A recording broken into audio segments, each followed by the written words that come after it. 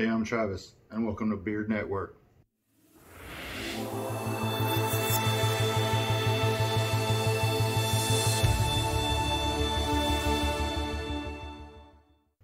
Hey everyone, so I'm growing my first beard ever. And so far I am on month two, and I have to say it's not looking too bad.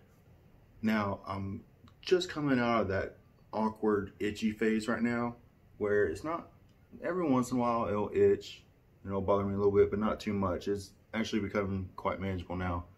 And all I'm doing is using some standard beard oils and I'm brushing it a lot, but it's not too bad so far.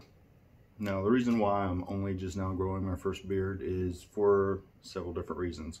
One being I'm retired Marine, so I spent a big chunk of my life in the Marine Corps. And you know, in the military, you're not allowed to grow facial hair. So that was one reason. Another reason is either when I was young or after the Marine Corps, I would start to grow it out and it wouldn't really fill in at all. It looked kind of scraggly and I said, I just can't grow a beard. I never gave it time. Well, now that I'm older, it fills in a lot easier and I actually given it the time I need to to let it actually grow and fill in and I'm seeing pretty good results I'm surprised all right guys so what I'd like to start doing is doing a community showcase where all my subscribers can send me photos and information about their beard whether they're currently growing out their beard or they already established a great beard and they just want to show it off that's good too. Uh, you give me all the information you want and I'll present you on the video and give all your information because we are a community here and any tips you got I can pass on to other people that I might not know yet because on this channel I want there to be a good sense of community here. Uh, I want this place to be where everybody could come and have take pride in their beards whether it be a big ass beard or they're still trying to grow their beard out. I want everybody to have pride in their beard.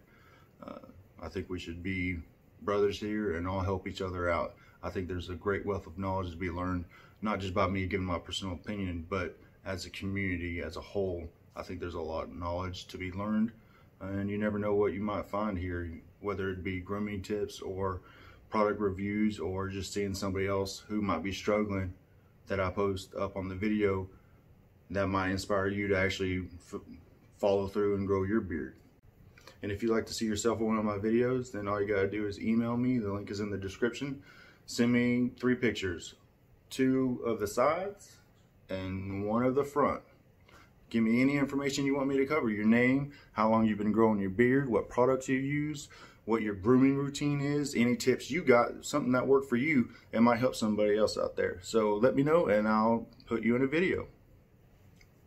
And also, because I'm on month two, coming soon, I already have it scheduled, I'm gonna be getting my first official beard uh, trim from a professional. So we'll see how that goes. Yeah, because it's kind of starting to look shaggy. Just a little trim. We'll see how it goes. And with that being said, have a great day.